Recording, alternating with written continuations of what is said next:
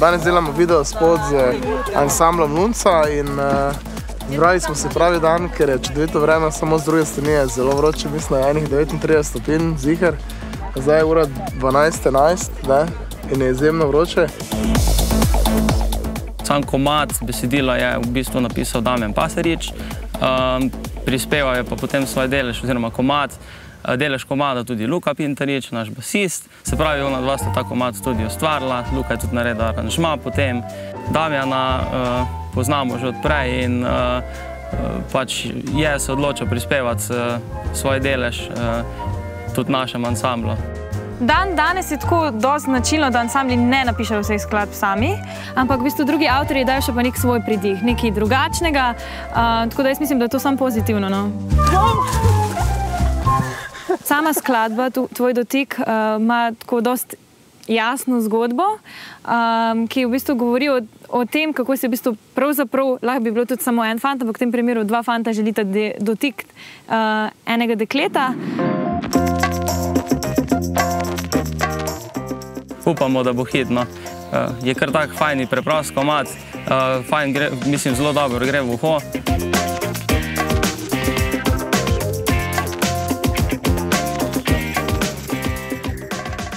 Ja, ker smo prišli v drugi krog oddaje Glasbeni scout, uh, smo dobili nalogo, da pač moramo posneti video spot. Navodila za snemanje video spota so bila, da napišemo scenarij, da pripravimo kostume, da pripravimo scenografijo, da pripravimo lokacijo in da vse skupaj zorganiziramo, kako bo potekel, kak bo potekel v bistvu cel dan. Prostor. V samem začetku, nažalost, jaz uh, sem bil odsoten iz Slovenije, kar nekaj časa zdaj, uh, ravno, ravno med časom, tem, ko smo čakali na snemanje videospota, zato sem to nalogo zaupal uh, Alenu. Pač moja zamisel je bila, vem, če bo zdaj gledalci razumeli split screen, se pravi dva, dve zgodbi v, naenkrat, zato ker je izmenjavanje hitro, eh, bi potem kazali naenkrat dve zgodbi in bi vsak, jo, vsak Ano peljal na eh, svoj izmenek, se pravi, Žiga bi bil tisti malce glamoroznež, eh, Luka bi bil pa tisti preprosti fant. Res ful dobra zadeva in te zgodbi bi, uh, bi gledalci lahko gledali istočasno, ne? ampak to nažalost ni izvedljivo v enem dnevu. Meni je bilo to jasno, bolj težko je pa pol povedati. Uh, Tok mlajšemu, kot je Alen, z nadobudnimi očmi, ki gledajo, jo, fuj, rad bi to naredil, Alen, prosti, to res ne bo, res ne bo šlo čez. No, upam, da pa ni Alen to jezen na mene.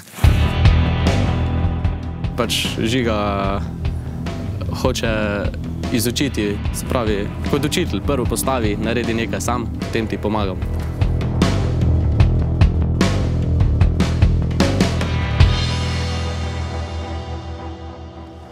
Pa dajmo še enega korasona. Podali so mi neko določeno verzijo scenarija, prvotno, ki je niti nisem prebral, ker mi je že v nekaj urah prispela nova e-pošta in sicer, da bomo spremnili to, kar je bilo napisano, torej ta scenarij obstoječi, ki ga je napisal Alen, in da bomo snemali torej improvizacijo. Ne? Ja, alo, veš kaj pa lahko? Lahko pa to foro, lahko pa to foro, kao, da ga ona drži in pa na koncu ne ve, kateremu bi ga dala. Ne? Pa ga oba ugrizna. Pa ga oba iz vsake svoje smeri, tako prijema skupaj zgodbe kot, take, zgodbe kot take ni, da bi mi zdaj predstavljali dobesedno, o čem, o čem govori komat. Uh, tega se nismo lotili, ravno zaradi tega, ker to dela večina ansamblov. Mi želimo že z prvotnega vidika biti malo, malo drugačni. Kar je na nek način uh, ja, za mene veliko breme, ker potem pade pač odgovornost na mene, da jaz iz, iz nič naredim nekaj ustvarjalnega. Mislim, da bi lahko bili boljše pripravljeni, kar se tiče zgodbe in scenarija. A, vi dva z neko isto hitrostjo na korason. Okay. Ker ti si zagral pul, ti pa si šel počasi. Ne? Jaz vam v zgodbo zelo težko pisal, pač, ker se sproti uh, pustim presenetiti tekom današnjega snemanja. A grem čez ven? Ja, čez ven, lahko greš, tam se staneš.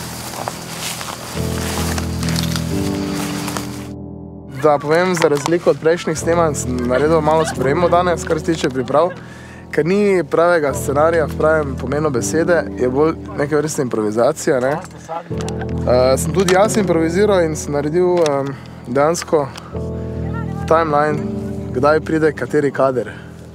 da bi nam bilo lažje, ne? da smo bolj organizirani. Zaradi tega, ker sem nekako določil okvire improvizacije, da ne je bila preveč improvizacije. Mislim, da so nek, nekaj postavljeno, torej ta scena piknika, kot vidite tukaj, to je, to je edini del zgodbe. Torej, oni trije se tu preigravajo drug z drugim, ne? pojejo. Penina. A penina. Slabost improvizacije je enostavno to, da če mi nekdo ponudi improvizacijo, ne, jaz rečem, dobro, spremem to, jaz bom poskušal vas voditi, koliko vam lahko, ampak eh, če mi ne vrnete s to improvizacijo določen performance, bo zelo težko kasneje pokrivati te kadre, ki manjkajo. Ker vseeno pa lunce še niso na tem nivoju, da bi bili, ne vem, odlični igralci, um, da bi imeli izkušnje s to vrstnimi, ne, s to vrstno zadevo, torej z improvizacijo. Ne vem, mogoče imajo, ampak tega danes nisem opazil. Zaradi tega, ker smo mladi, kreativni, imamo polno idej, smo ustvarjalni, uh, se mi zdi, da lahko spravimo tudi skupaj en video spot, čeprav gre tle za improvizacijo, ampak se mi zdi, da končni izdelek bo očaral uh, očaral marsikoga. Ja, improvizacije se lotiš, seveda, ko imaš že nekaj izkušenj za sabo, ko že um, opravljaš z odliko pripravljeno formo, torej da vnaprej pripraviš scenarij in vse zadevo. No, zdaj ne vem, koliko je ta ansambl že izkušen, da, da se tako hrabro lotil tega projekta. Vsekakor mislim, da ni dobro prehitro se podati v takšno improvizacijo te vrste. Ja, jaz mislim, da mi vedno malo improviziramo. Če v bistvu vse naprej domišljeno ni tako spontano. Ja, definitivno sem dobil občutek, da so od vseh bendov do zdaj najmanj pripravljeni, sploh kar se tiče scenarija in zgodbe. Ker če so dobili nalogo v tekmovanju, da mora pripraviti scenarij, bi se lahko tudi tega lotili. Tokrat smo se pač postili toko, ne? tudi nekako smo zaupali sami ekipi, da, bo, da bomo zadevo pač dobro naredili. No. Upam, da nam še uspe do konca dneva neke dobre improvizirane kadre pač posnet. Zdaj pa moram iti snemati dalje. Ja, zdaj gremo znotraj spet tako prej, celo kidico pa to z grozdjem, ne? A rečemo Alenu, da to dela, ker je za to zadolžen, za muziko. Nima zdaj le kaj tam za iskati. Alen, a lahko priješ tule k... Uh, Zadolžili so me za uh, stiskanje gumba. Stop, play, stop, play.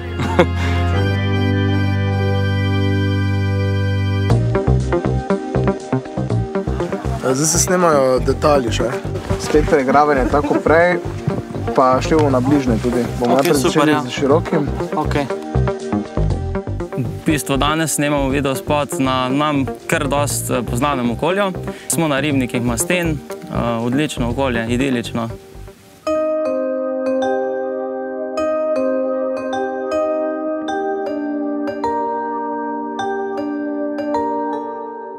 Naš piknik je postal zmešnjava. Ok, gremo na pozicije. Kaj delamo zdaj? E, še enkrat samo isto. Ja, Čakaš, kaj bo nastalo, greš enkrat, greš dvakrat, greš stokrat. Video spot je posnet več ali manj na eni poziciji.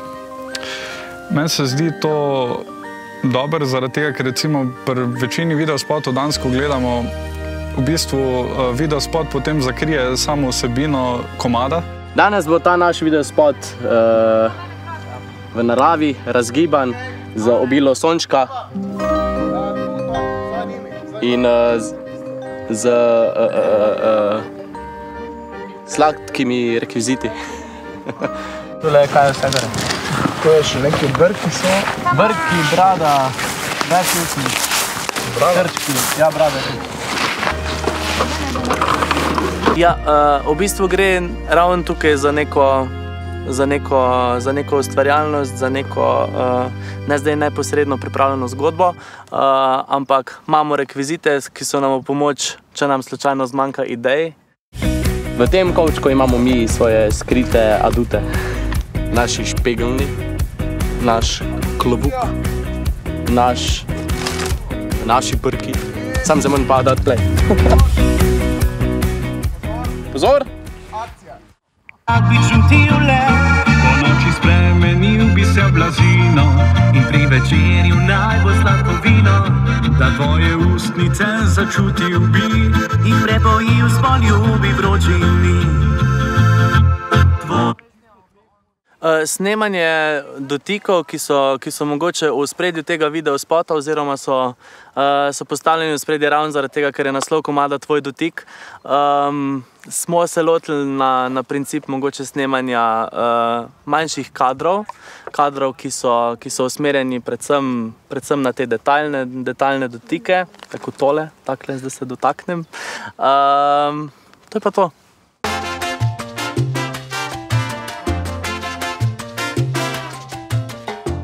Bili so dotiki grozdja, bili so dotiki banane, bili so dotiki soka, potem so bili dotiki ušes, dotiki rok, dotiki nog, dotiki uh, odeje, dotiki polštrov, dotiki uh, ptičke, dotiki žabice, ki jih imamo tamle. Pa smo se dotaknili tudi enega velikega krapa, uh, pa smo se dotaknili muh in os in uh, sonca. Ana ti lahko kaže, kako se je sonce dotaknila.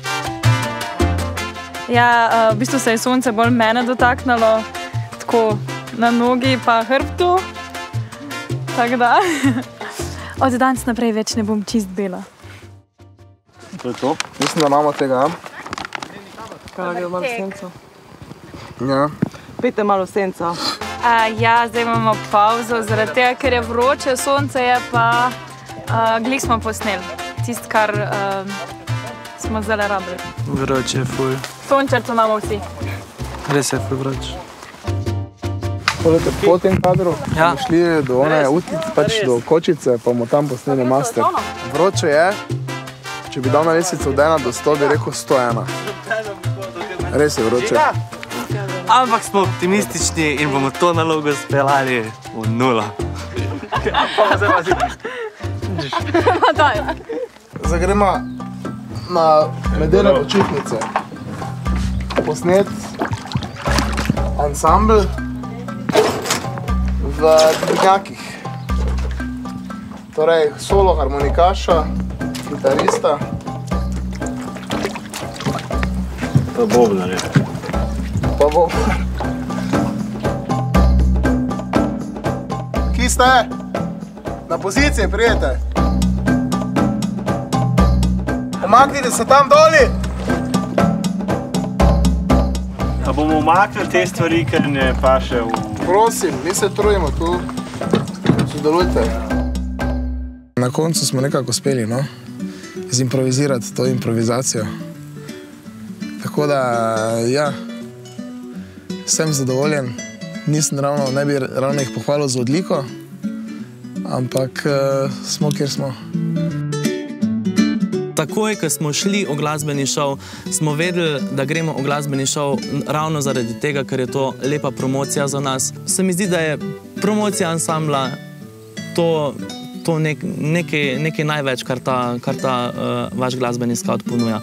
Okolikor pa tle zmagaš, uh, pa se mi zdi, da je tudi zelo lepa odskočna deska za naprej, pa mogoče tudi kakšna potkev pod kolena strani drugih. Ja, jaz upam, da smo pravi za zmago v glasbenem skautu, bodo pa o tem seveda definitivno odločili gledalci in pa žirija. Mislim, da bodo glasova, gledalci glasovali za nas, ker je v bistvu drugačen spot. Predvsem pa v bistvu jaz mislim, da je simpatičen. Jaz želim ansamblu uh, Lunca vse najboljše in da bo prišli daleč.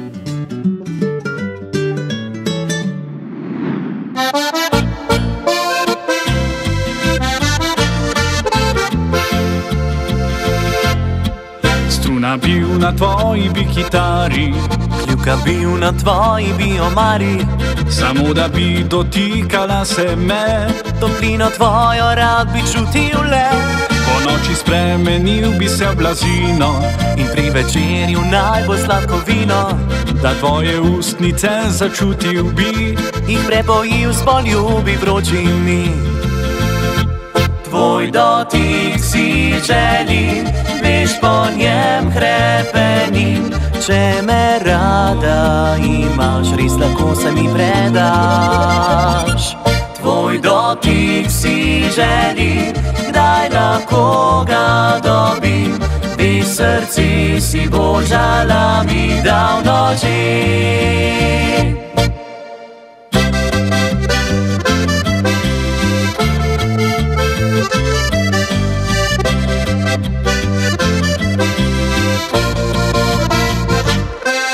Zjutraj bil še zobna bi krtačka, Naročil tvojem dolgo dlaka mačka, samo da bi dotikala se me.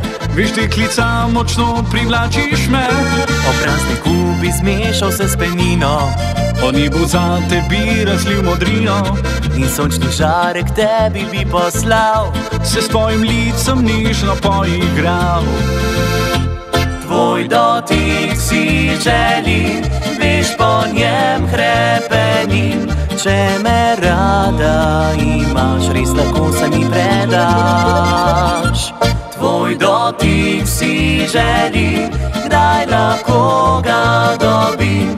Veš srci si božala mi dal noči.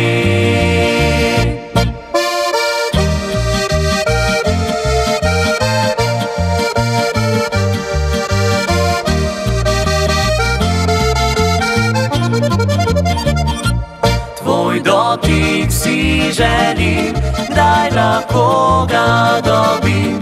Bi srci si božala mi dal noči. Bi srci si božala mi dal noči.